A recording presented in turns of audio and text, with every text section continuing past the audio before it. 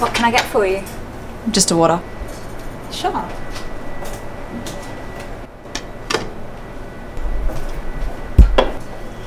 Do you know a John Farvo? Why do you ask? Oh, I'm just curious. He told me to come check out this place. So I was wanting to know if he's a regular or not. I wouldn't say he's a regular. Been in a time or two. Nice guy. Yeah. He is. Well, if you'll excuse me, I have another customer.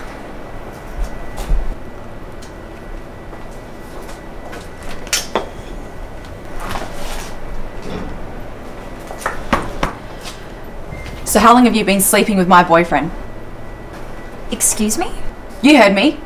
How long have you been fucking John? I'm sorry, you must have me mistaken for somebody else. I'm married. Oh, so not only are you sleeping with my boyfriend, but you're cheating on your husband too. Look, you don't know what you're talking about, okay? I'd appreciate it if you left. Two weeks ago.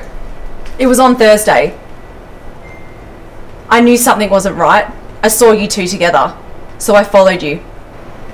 Look, And wouldn't you know, John's gone and found himself a tacky whore. Nice motel, by the way. How much was it? Nine ninety five an hour. look, Fuck you.